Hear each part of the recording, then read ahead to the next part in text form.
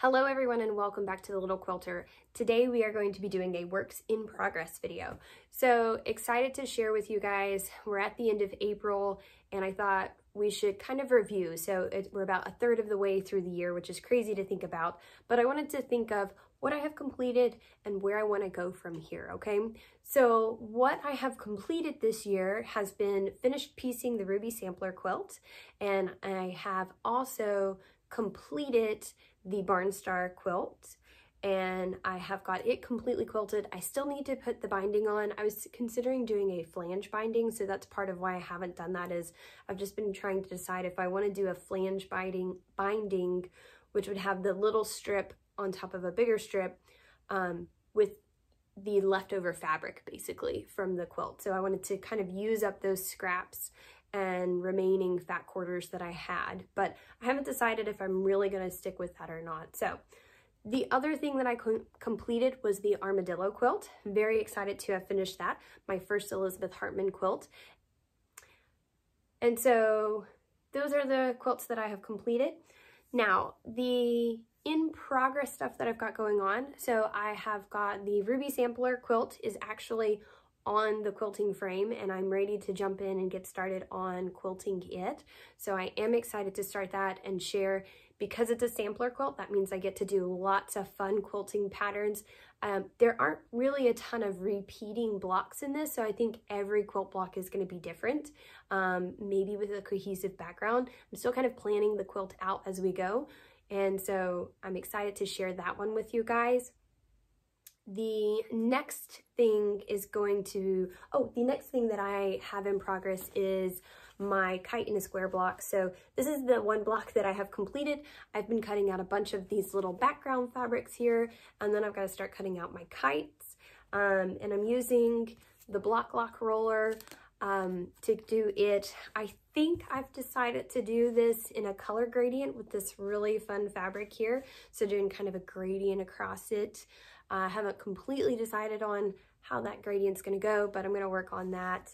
And once I have all of my kites done, I think I'll be able to piece it better. I'm not going to sew them all together like this. I'll probably just do each individual kite and kind of lay it out that way so that I know what I need to do from there. Um, what else do I have? Oh, the other fun thing that I have in progress, well, not in progress, in the plans to complete is another Elizabeth Hartman quilt. And it is the Lisa the Unicorn Elizabeth Hartman quilt. I'm going to do this small quilt. I have purchased some Kona Sheen strips. They're really fun and um, very shiny metallic look to it. So I purchased this quilt pattern because my niece really wanted me to make, well, I asked her if she wanted me to make her a quilt and she said yes. And this was the quilt pattern that she picked out. So typical little girl thing. I have got this to make. Oh, I want to show you the background fabric. So this is the background fabric that I have decided. It's a batik.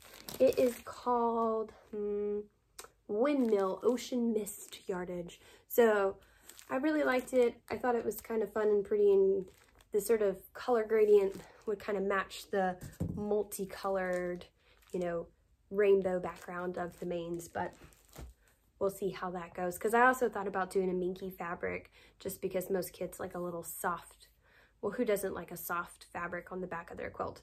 But right now I'm just going to stick with that for, for the moment and see. I've got to actually piece the quilt.